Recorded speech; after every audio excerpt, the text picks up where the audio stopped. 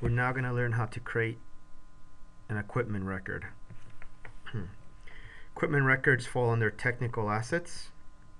You should not create an equipment unless it's been procured in. So you need to talk to anybody, somebody in procurement to know if the equipment has been received yet. If you have the purchase order number, you could check it yourself or you could talk to somebody in procurement or receiving. Once the, the equipment has been received, you could create the equipment record. And then you need to create, link it to the ma maintenance data. Here's the flow of plant maintenance, and this is where technical assets fall in. From here, we will look at where equipment falls in. Equipment should be linked to a functional location, but equipment could also be uh, self-standing and it could have document info records, task lists, maintenance plans, measurement points, warranty, vendor, work centers, MRP. It could also be linked to BOMs and tools, configuration management. Now we're going to go into SAP.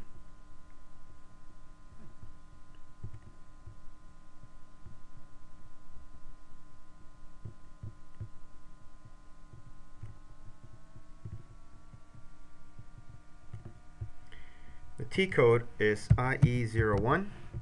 Here it is, IE01. You go in here, here's the equipment. You have to select what kind of equipment it is from where it says equipment category.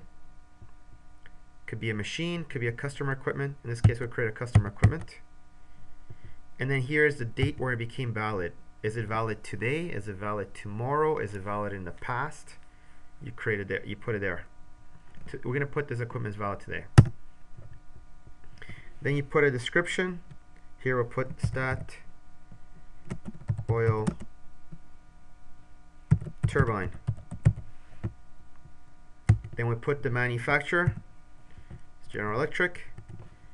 It was made in Norway in 2013. It's under the General tab. These are the three things you need. These are optional fields. Then you need to put location, which is the plant, 1000, because you're in, your plant is 1000. Then you put sort field, which is the location, second floor, sector 8. Then you go to organization, you put your cost center or WBS. Here I know the cost center, which is 1701. Or you can put your WBS. Planner group, which is a person that look after any maintenance on this, who's going to look after any problems that happen with this. Work center, which is the first work center that finds out that this there's something wrong with this piece of equipment. And this is the plant where they belong. So the engineers are the first ones to find out this piece of equipment has broken down. It automatically feeds the work orders. This also automatically feeds the work orders. This also automatically feeds the work orders. This here is just part of the data to tell you where it's located. It does not feed the work orders. You need to click from the work orders to the equipment to see this. And here, this is just for reports. Reports, reports, work order, work order, work order. Then you press save. You have created a piece of equipment. Now, if we go IE02, we could look at this piece of equipment. It is, this is the number numbered equipment.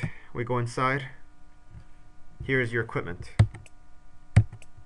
You could change the information as needed.